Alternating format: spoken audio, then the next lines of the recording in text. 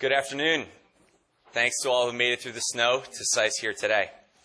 On behalf of our Dean, Jessica Einhorn, and all of us at SAIS, I'd like to extend a warm welcome to our audience, especially to representatives from the State Department and to our guest, Dr. Anne Marie Slaughter.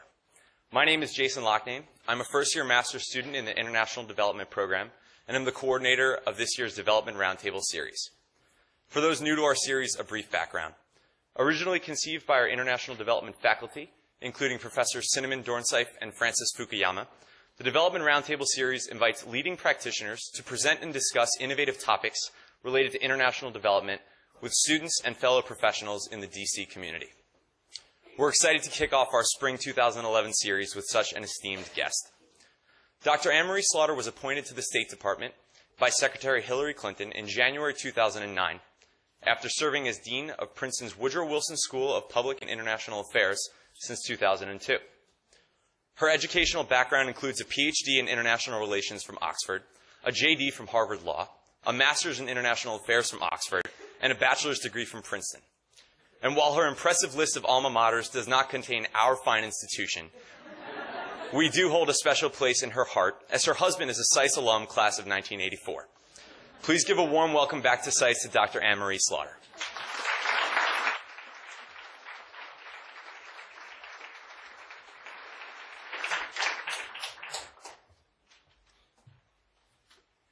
Thank you. I think that makes me an honorary.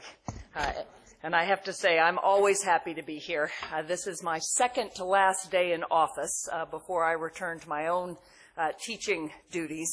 Uh, so I thought it was particularly nice to be able to come to SAIS uh, and give my last official QDDR talk before I return. Although I, I am quite certain that I will continue to be engaged with the QDDR. My first class, which I start teaching on Wednesday, is entitled Implementing the QDDR. So I'm not getting away from this anytime uh, very soon.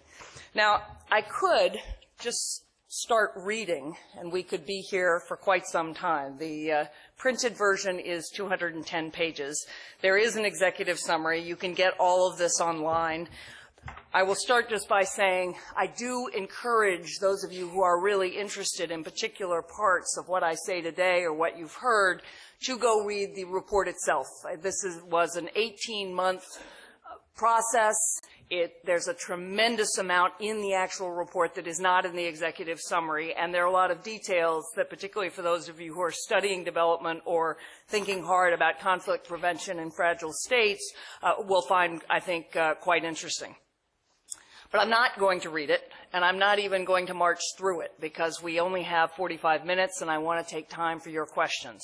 So instead, what I'd like to do is talk about seven ways in which the QDDR sees us, us, the United States government, engaging the world. It is a really, uh, I think, different vision of how we must engage the world going forward uh, than uh, might have been articulated had you done a QDDR, a quadrennial diplomacy and development review, say back in 1990 or 2000 or possibly even 2005. So let me uh, use that framework to highlight the major themes of the QDDR and then I'm happy to, to take your questions. So the first way we have to engage the world is through civilian power.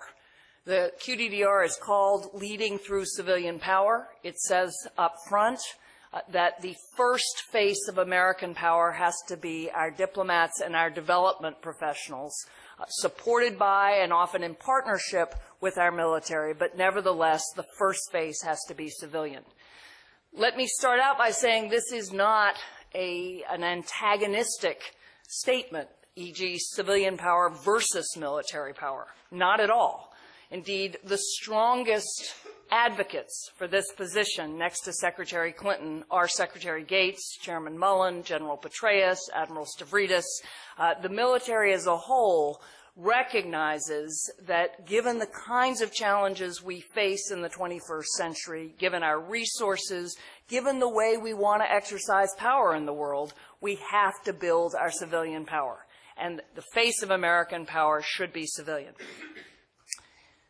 The second, uh, so first point you think of uh, leading through civilian power, the next thing to say about that is that it is not just USAID, and the State Department. We define civilian power as including civilians across the federal government. That includes within the Department of Defense, who have built up their own civilian affairs capabilities in many cases, but it includes Health and Human Services, the Department of Justice, the Department of Agriculture, the Department of Energy, the Department of the Treasury, the Securities and Exchange Commission, USTR, and I could go on and on. When the President convened a presidential policy directive, a study group on our development policy, 16 agencies showed up around the table as development agencies.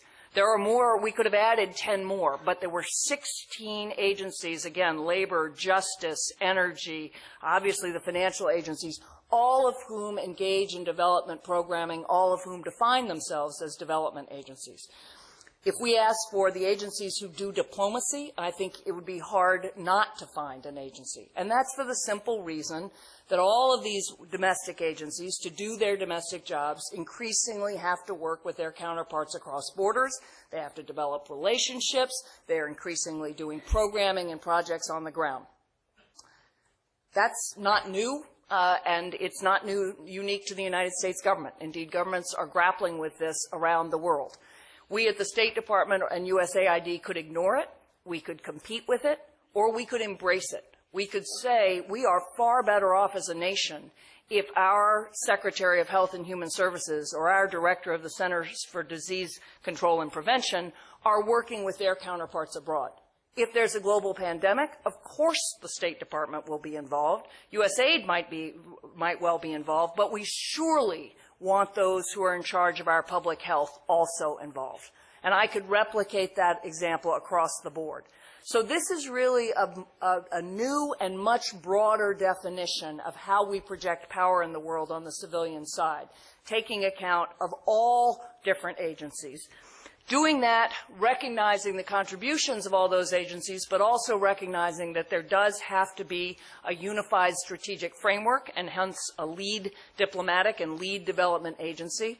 State Department is the lead diplomatic agency and USAID is the lead development agency with all those, those other agencies. So that's engaging through civilian power. The second way in which the QDDR says we have to engage the world is much more regionally and multilaterally that we're in a world of over 190 nations who do not vote in blocs nearly in the ways that they used to. It's much more likely to be shifting coalitions of interests. Often that means really having to do intensive work on the ground country by country. To get the kind of cooperation we need to address regional and global problems, we have to work through regional organizations and global organizations, and we have to be better organized to do that. Uh, there are a, lot, a, number of specific recommendations that I can talk about in the question period about what that means. Things from uh, establishing regional hubs and having foreign service officers based at those regional hubs and traveling around the different embassies in the region to appointing a civilian deputy at the combatant commands uh, with DOD and, and others. But that's the second uh, focus is really that we have to be able to engage multiple nations at one time. We're facing the need to, to, mobilize people to address problems. This is the way to do it. Third is a, a three different ways to engage the world within the State Department, and then I'm going to turn to the development uh, agenda. The State Department, of course, has its regional bureaus. All of you know that. Uh, and it has its functional bureaus. And the functional bureaus uh, fall under different undersecretaries. But how they're created and how how the bureaucracy is in fact organized dictates where our resources go, how we organize ourselves, not only in Washington, but often at embassies. Uh, it really does signal the issues we think that are most important and how we're going to engage the world. If you've, I, I can't be possibly speaking to a SAIS audience without your understanding of the nuances of bureaucratic politics. You can't be in Washington for more than a week without understanding those nuances. We right now have an Undersecretary for International Security and Arms Control, an Undersecretary for Global Affairs, which covers climate change, the environment, science, uh, democracy and human rights, and then an Undersecretary for Economic, Agriculture, and Business Affairs. Going forward, we need to be organized and to engage the world in terms of state security, human security, and global systems. That's a very big change, and let me explain more precisely what I mean. On the one hand, clearly, this, it, the security issues we face are still state to state. Just think about North Korea or Iran or many of the crises that we see arising either uh, in the context of nonproliferation or possibly destabilizing a region. That's still traditional international security and arms control. Although we have recommended creating a Bureau of Counterterrorism, and it's possible that that would be added uh, to that bureau. So that's still there. But we're now creating a set of bureaus to focus on human security, to focus on the conditions that govern individual lives within states, in addition to relations between states. That's an undersecretary for civilian security, democracy, and human rights. And under that undersecretary will be a new bureau for conflict and stabilization operations, which I'll talk about, really focused on conflict prevention international narcotics and law enforcement. That may sound very technical, but the way to think about it is conflict and stabilization operations will address the kinds of issues going on in Sudan. INL, International Narcotics and Law Enforcement, address the kinds of issues going on in Mexico or Guatemala or any country in which there's every bit as much violence, but it has a, a criminal, more criminal dimension rather than, say, an insurgent uh, dimension, even those, those are often intertwined. And then under that undersecretary is democracy, human rights, and labor. Because we don't just protect people from violence, we protect people through law. We protect people by standing for their rights and standing for the, their ability to have accountable governments. And finally, population, refugees, and migration. That effectively is the source of our humanitarian diplomacy. So when people are in absolute crisis, we meet their basic humanitarian needs. Put all that together, and that's quite a different picture of the world. It isn't either or. It's not state security or human security. It's both. It's looking at relations between states and relations within societies at the same time and saying the kinds of problems we face, from climate change to global pandemics to countering violent extremism to the stability of the global economy to resource scarcity, a lot of those issues have to be tackled within states as well as between them. The third way we're facing, we're engaging the world from the diplomatic side is global systems. So it was always odd to have an undersecretary for global affairs that didn't include the economy. If I said to all of you, all right, we're going to take on global issues, you would probably say, well, that you start with the economy, which is the most globalized system we have. New undersecretary for economic affairs, energy resources, and the environment. So energy resources is a new bureau. Uh, it's interesting to put those three things together. It also says you really can't have sustainable economic growth without paying attention both to the environmental consequences and to the need for energy. The flip side of that is a, a uh, effective way to address climate change or any number of environmental issues has to take account of economic needs and energy. So it puts those three things together. The fourth way we have to engage the world, which really I think in, includes a lot of these others, is through development. Uh, the Secret Secretary Clinton started the QDDR by saying this is not just going to be diplomacy, this is going to be a review of diplomacy and development. She started her time in office by talking about smart power and talking about defense and diplomacy and development. And one of her absolute commitments as Secretary of State is to elevate development as a core pillar of foreign policy, so that it is not something that is peripheral to foreign policy. It is something that we do at the core of foreign policy, just as we do diplomacy, but let me be very clear. That does not mean we subordinate development to political ends. It means that wherever we are, we recognize that the development dimension of the problem we face, whether that is in Afghanistan, or whether that is in Rwanda, or whether that is in Costa Rica, any country, you focus on the development needs of the society as well as the diplomatic needs uh, of the state, and often those two go together. You elevate development issues through your diplomacy. In practice, that meant rebuilding USAID, uh, that meant really building back its personnel. It lost 40% of its personnel uh, since the early 1990s. It had lost its brain, its policy planning and learning shop. I am the head of, of policy planning at state. I did not have a counterpart at USAID. I now do. Uh, almost 70 people who are already issuing papers and really doing some innovative thinking again. It meant giving them back enough control of their budgets that they could actually do their budgets and hold people accountable for implementing those budgets. Uh, it meant giving them control of major presidential initiatives like the Global Food Security Initiative and over time the Global Health Initiative. And it meant allowing them to invest in development innovations, new technologies, new ideas. Many of you probably know that Michael Kremer is the new head of Development Innovation Ventures. He's one of the most creative development economists in the world. He's the new face of USAID in that space, and that's saying quite a lot. Fifth way is through conflict prevention. Uh, we had a coordinator for stabilization and reconstruction. Uh, Deputy Secretary Lew was asked to put thousand civilians on the ground in Afghanistan when he came into office. There's been an understanding that we needed a civilian capability in fragile states and in conflict zones. But if you really think about this from a civilian power perspective, you would not start with reconstruction and stabilization. You don't wait until the troops are in the field. You start with conflict prevention. You start with what we're trying to do in Yemen or Sudan or Tajikistan or Kyrgyzstan or any number of countries uh, where you could see possible conflicts, uh, and it is important to engage early and with specialized expertise. So there is a new Bureau of Conflict uh, and Stabilization Operations Part, the first duty of that bureau is to gather a lot of the specialized knowledge that has been developing over the last 20 years as people have been in places like Rwanda or the former Yugoslavia or East Timor or more recently, uh, obviously in either Iraq or Afghanistan to to find that we know what doesn't work, and in some cases we're beginning to know what does work. To pull together that expertise, to become a center of excellence, and then to be able to put people on the ground in flexible teams, working with USAID, with the military, with justice, with any other agency uh, that is engaged very quickly. The sixth way to engage is through women.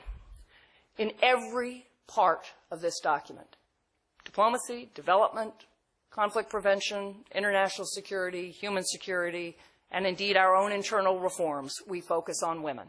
We focus on elevating women in our diplomacy, whether that's our bilateral or multilateral diplomacy, across the board in development. We know that investing in women and girls is the best investment we can make in development, but not just on the softer side, on the, on the conflict side as well bringing women to the table, engaging them in both conflict prevention and conflict resolution. They are not just victims, they are agents of change, they're agents of economic growth, they're half the population.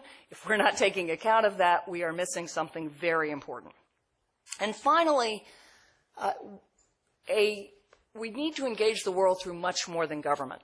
And here you can start before you get to the QDDR. The National Security Strategy uses the term public-private partnerships over 30 times.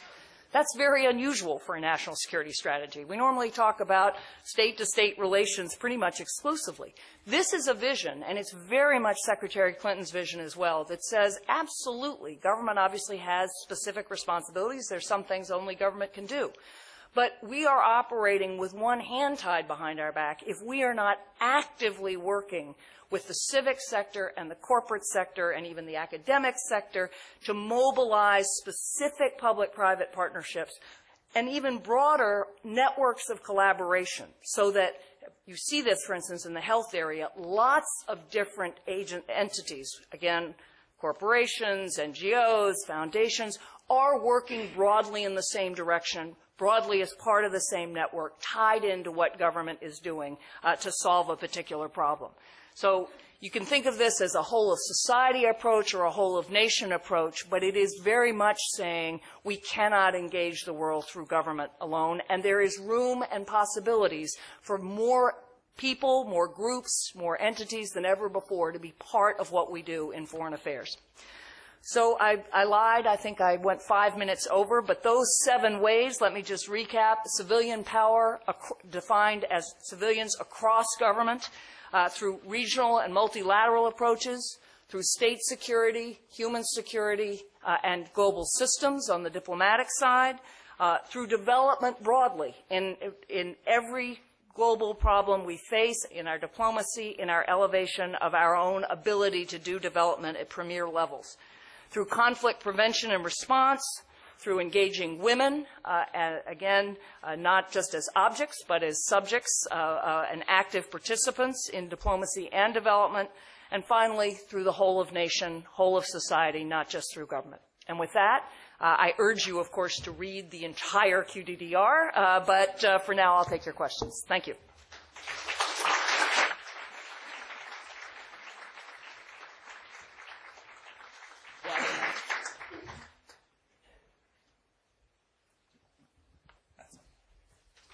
Great. Thank you, Dr. Slaughter. So we've got about 20 minutes for questions. Um, as a reminder, when asking a question, please wait for a, a moderator to bring the microphone to you.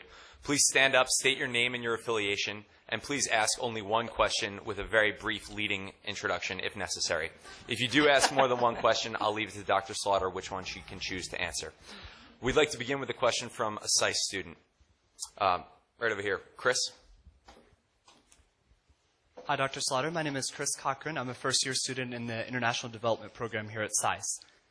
The QDDR proposes an elevated role of the U.S. ambassadors in the coordination of U.S. abroad focused agencies. And I wonder, what are some potential weaknesses of this more centralized organization? Potential weaknesses. I, let me start with potential strengths. I mean, so what you're talking about is that, that we, we describe uh, chiefs of mission as CEOs of a multi-agency mission. And what we're saying is you do have so many different agencies now engaged in countries that sometimes our embassies feel like they are hotels and travel agents, that they've, they've got all these people coming through who are running programs in their countries. They are not actually in a position to see the whole, to develop a strategic plan that works. Uh, through the chief of mission or the deputy chief of mission on the diplomatic side, through the aid mission director on the development side, who, who of course reports to the chief of mission but is the lead development advisor. And then in a way that actually uses all those resources, aligns them, makes sure we're not undercutting ourselves by doing a program through the Labor Department or through the Justice Department on the one hand and aid or state uh, on the other. Uh, that also should devolve uh, more flexibility uh, to people in the field, and we again think that it's it's important to do that. In terms of um, I mean, so there's there is a downside, uh, potential downside, which is that uh, there's no ability for the chief of mission, if this works as we foresee it, to say, you know, I didn't know this was happening. And there are occasionally entities that work in ways that plausible deniability, I'm not, I am not talking about the intelligence community, let's just make this very clear.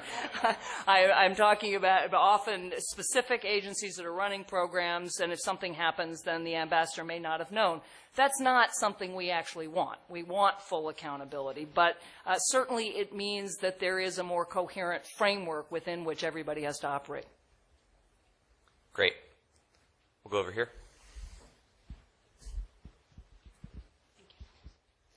Hi, my name is Monica Sunder. I'm also a SAIS student, second year, uh, conflict management. Um, I'm in the process of becoming a foreign service officer, and I've felt some frustration with the process. Even though it's been thorough and comprehensive, the QDDR did take 18 months, um, and it took so long to reach a conclusion that I feel is very obvious in the policy community that we're understaffed in both state and USAID. Um, and so my question is, one of the recommendations, or the recommendations that you made were made under the Democratic-controlled Congress, even though December we knew what was coming. Um, and so what do you feel are going to be the challenges in implementing the hiring recommendations of the QDDR in the new face of budget cuts and deficit reduction? Great, thank you. So first of all, let me just clarify we actually didn't recommend the, the, increases that are going on in state and aid. That was done in 2008 under the last administration. There was a commitment to double the size of the Foreign Service at USAID, and USAID has actually hired a thousand uh, new people already under its Development Leadership Initiative. The State Department uh, has brought on uh, well over 500 new Foreign Service officers and has a, still, we're on track to do quite a bit more. So we actually were just acknowledging that we needed to continue that, uh, and that ideally, over time, once we've absorbed uh, those new people, that we would still like uh, to further. We knew, of course, uh, by this summer that we were heading into a very different budget environment, and we knew certainly by September, October that things might look quite different in town. A large part of this has been about figuring out how we can simply work better and more effectively you don't see the same kinds of specific cuts that you see when the military uh, is able to do this kind of a review. We, we are frankly in a very different situation. What you do see in a lot of these uh, reorganizations is you're putting parts of the department together that currently duplicate each other in some ways. And so we see that as a way of going forward and, and doing things uh, in a more streamlined way. All of which means we see this as exactly the right basis on which to engage this Congress. We want very much, of course, to continue the trajectory we're currently on, even as we recognize that everybody is in a, an environment of more constrained resources. And we will, you know, work very hard to maintain uh, our current budget levels and, and to go forward and again, as I said at the outset, this is something that the military understands and supports as much as we do. I think, I, I honestly think when it becomes clear what kind of an investment we're making and how good that investment is, uh, we, will, we will have quite a lot of support. Next question right here in the middle.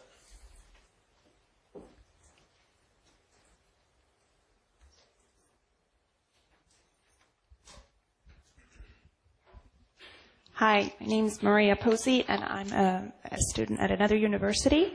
Two questions, really, really brief, and they're probably in the report, but if you could just review first the timeline for how long you see this process to take, to take, and then second of all, you talk about adding a lot of new bureaus, um, a lot of reorganization, and if you could just elaborate on that a little bit, um, I'm, because I'm thinking it doesn't just mean adding and another 10 layers to the bureaucracy. It probably means moving some things around. So if you could just explain that briefly. Thanks. Absolutely. Thank you.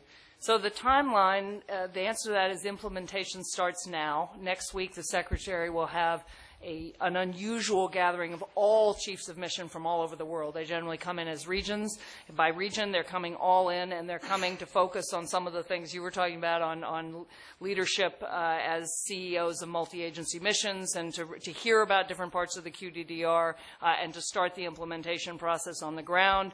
Uh, I fully expect that the major recommendations of this report will be implemented within the next two years. I can't say that every recommendation will be, and some need many more resources than others, and obviously there we will operate within what we've got.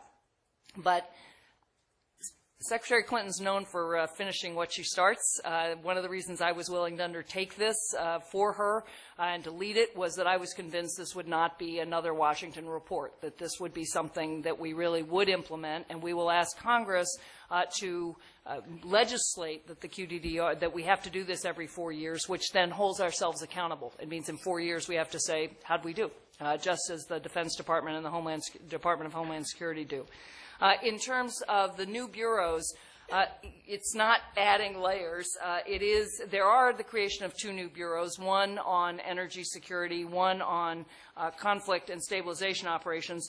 One of the conflict and stabilization, op- well, both of them pull together different existing parts of the department. So you have a uh, coordinator for reconstruction and stabilization. There are a lot of assets there. There are assets in other parts of the department uh, that are folk- that do engage in conflict and stabilization operations. And the process of the reorganization will be pulling, seeing what goes with what uh, in a way that we think we can be more effective. Same is true for energy. There are there are people who do energy in many different parts of the building. One of the ways I've thought about this is the, you know, the, the bureaucracy is like this vast shifting set of offices, and how you put them together reflects how you see the world and how you need to respond to it at any one time. So you didn't have global affairs before 1990. In 1990, you had global affairs, or 1992, that engaged with climate change for the first time. 20 years on, you realize, you know, that you really can't have that in, in isolation. You need to put that with, it with, the, the, uh, with the, the economy that process is just ongoing. We do not need to ask Congress for those two assistant secretaries. We actually have those positions, and we just haven't filled them. Uh, the woman in the back in the red jacket. Please wait for the microphone. Thanks.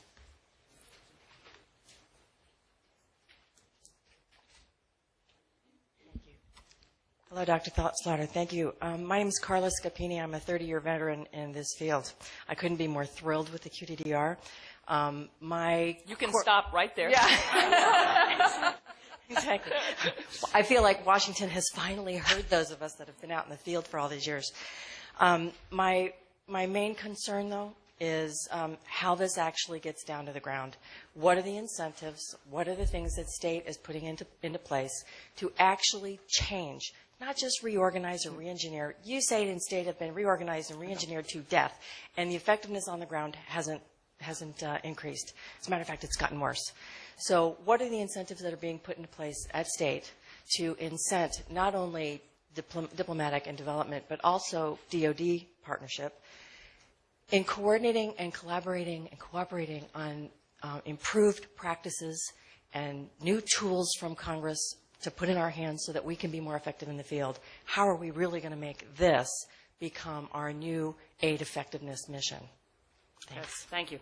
Well, we have a very good partial answer, because you listed a whole lot of things, and I'm not going to say that we've addressed all of them, but what we have addressed, uh, on the assumption that a large part of what's happening on the ground that makes us less effective than we, than we should be, is precisely that there are many different agencies going in different directions, and again, if we, there, there are lots of synergies, that, particularly in a time of constrained resources, and then there are lots of places where at least we could stop undercutting each other. And the, so the, what we're doing there is building it into performance incentives. We have told the State Department and USAID that if you want to be promoted, and it's not just we're not going to tell them, this has to be written into job descriptions and position evaluations, uh, you must both demonstrate knowledge of the interagency, have spent time in another agency, and demonstrate you can work collaboratively with the interagency.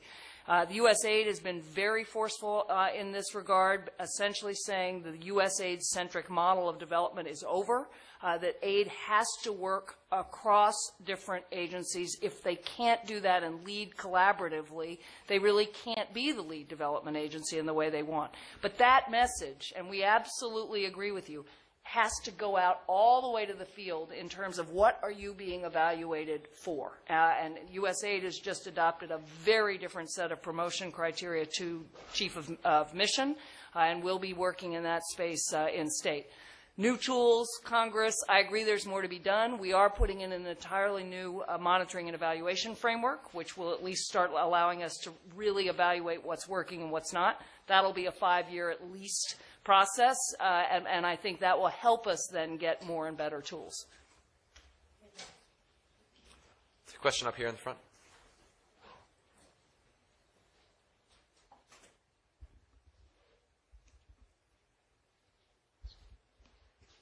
My name is David Millar. I'm a consultant on East Asia. And uh, my question was, I'm, I'm struck, you were talking about the, the government and, and private partnerships. I'm really interested in this idea, but something that immediately came to mind was that um, when I travel overseas and I talk to people on the ground, just not important people, but you know, People. people, people, All people are important. Yeah, no, I, you understand, but not not the diplomatic elite. In other words, not not the people who have sort of that that inside community. There is generally a, a very favorable impression of American universities, American business culture, American American social culture. Very negative or cynical views of U.S. government and and its aims. And so I'm wondering, sort of on the public diplomacy angle, if there's been any change in thinking on that.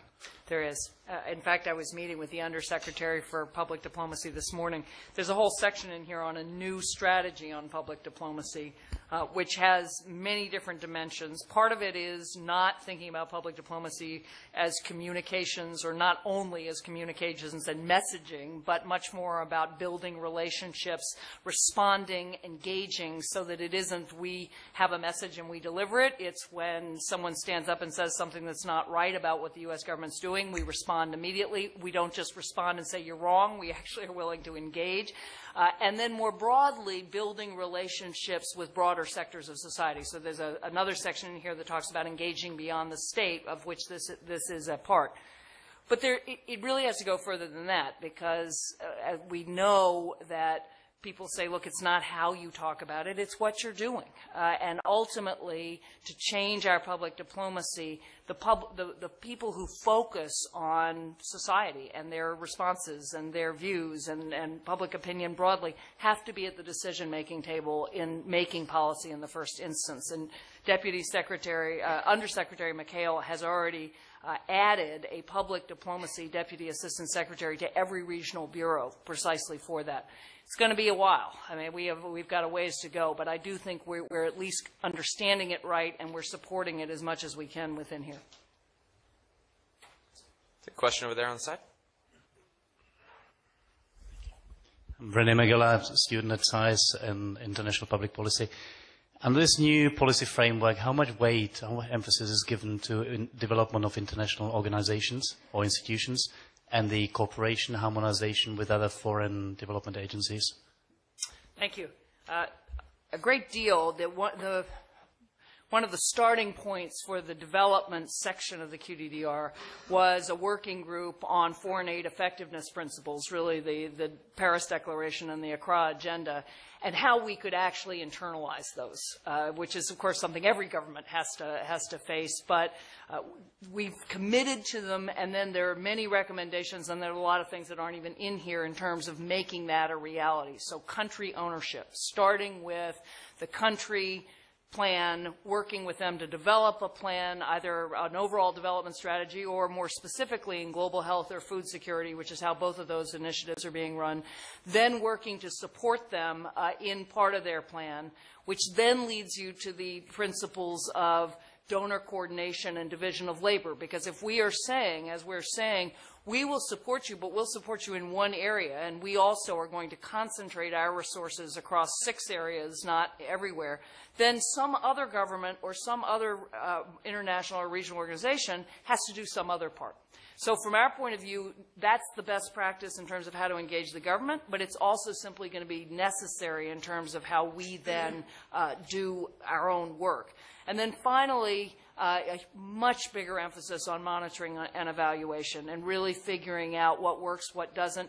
That includes a focus on which international organizations or, or, which parts of international organizations are working. Uh, the DFID in, in, Britain has just done a major review of which international partners are most effective and which are not. Uh, and that means uh, we, we essentially have to apply that to ourselves, to other governments, uh, and to those organizations, and then work with the ones that really work. But I think you're already seeing changes, or at least that's what I'm told from the ground, and we're certainly committing to them.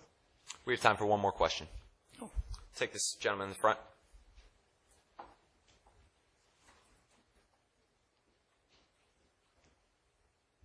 Thanks. Um, uh, Dr. Slaughter, I'm Garrett Mitchell, and I write the Mitchell Report. And um, uh, it occurred to me uh, in listening to this that in a day or two, we're going to lose you. The QDDR is still going to be around. So I want to ask an Anne Marie Slaughter question. Uh, and the question is, you've just gone through what I know to have been a highly aerobic and intensive uh, experience. I like aerobic. That's good. uh, and I'm interested to know what. Uh, maybe I have to wait for the book, but I'm interested to know what what were the principal at this point. What were the principal points of learning for you, not about development and diplomacy, uh, not about the specifics of the plan, but things like how to affect change in large institutions. Uh, what did you learn about um, the potential for public-private partnerships that wasn't there? You, you, you, know, you came into this with a wealth of experience in writing around and thinking around being a thought leader on these issues. Then you did this experience. You emerged from it in some ways changed by the experience. And I'd love if you could share, particularly with a bunch of people out here who are who are hoping that maybe one day they could be an Anne Marie Slaughter. Maybe you could share a little of your thinking with us. How long do you have? uh, I have been changed by the experience without any question, uh, and I uh, ha- I won't write a book, but I will be writing an after action report for the Secretary effectively to say what not to do in the next QDDR because that's inevitable. You, you learn a great deal doing it the first time, as any other organization has. But I think the, the basic lessons for me in terms of how to make this work, and it, it, it still has to be implemented. I am committed that it, I'm, I'm convinced it will be implemented, and it'll be implemented better because I'm not here, because the people who have to make it happen have to be on the front lines of implementation.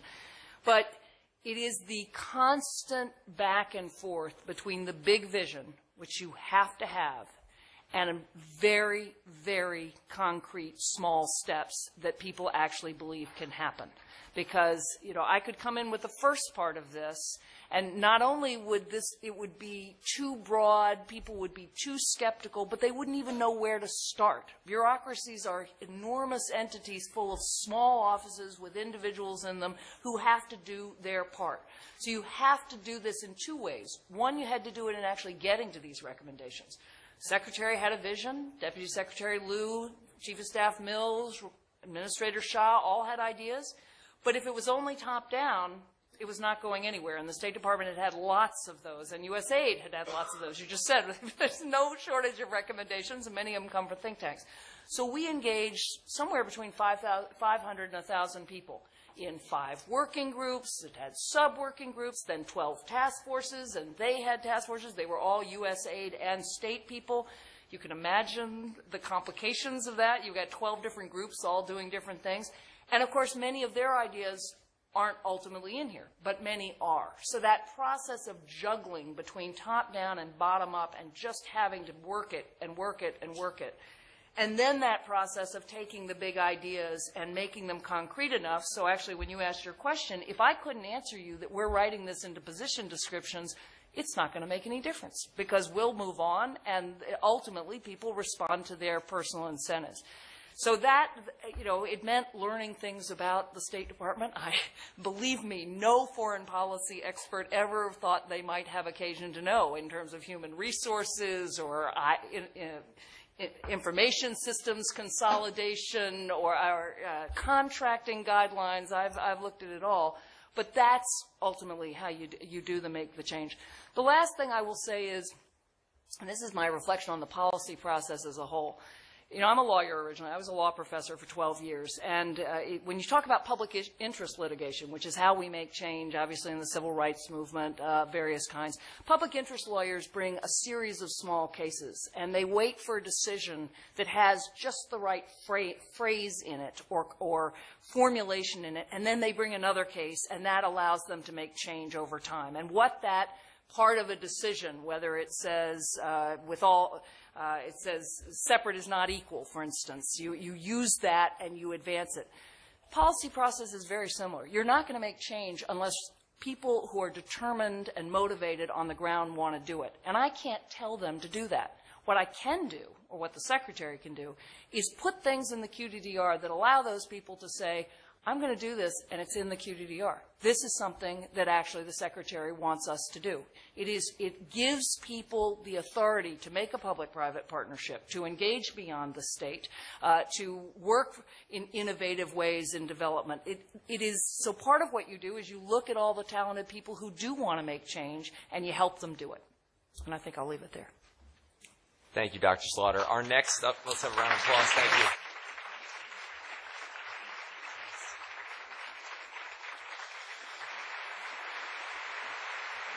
Our next development roundtable lecture will be next Friday at 12:30. David Holdridge, the president of Bridging the Divide, will be speaking in Rome 200. We hope to see all of you there. Thanks again to Dr. Slaughter for coming.